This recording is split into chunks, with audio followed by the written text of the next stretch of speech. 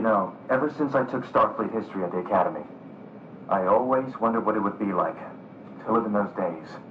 Space must have seemed a whole lot bigger back then.